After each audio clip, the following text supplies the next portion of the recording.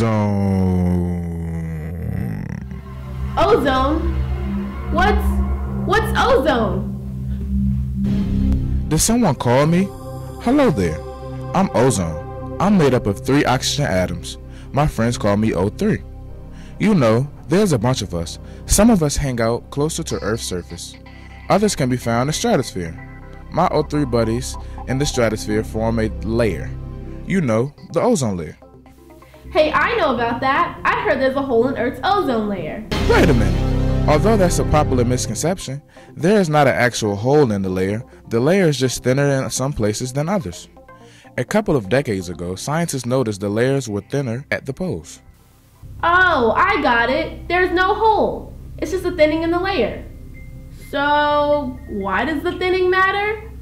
The ozone layer is critical. It absorbs some of the sun's UVA radiation. With a thinner layer, more radiation reaches the surface. This radiation is harmful to living things on Earth. That's why the ozone layer is critical. It's so critical, NASA is measuring the layer all the time. Oh, NASA. Well, thanks, O3.